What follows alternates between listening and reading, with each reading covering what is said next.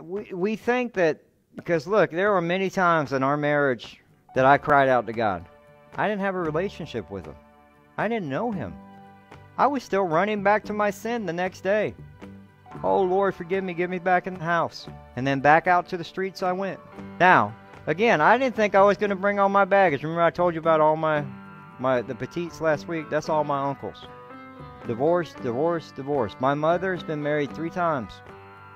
My father's been married twice and divorced twice. My mother's been married 3 times and divorced twice. She took her same mess into the next marriage. Sadly. And we grew up, and the reason why I have a huge issue when we deal with marriage is you got to be real in your marriage with each other because you're in a covenant with God.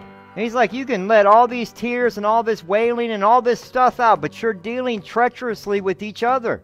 You're, you're, you're like a tennis ball. Y'all are in a tennis match. I'm going to hurt you. I'm going to hurt you. I'm going to hurt you. I'm going to hurt you. And that's what you're doing.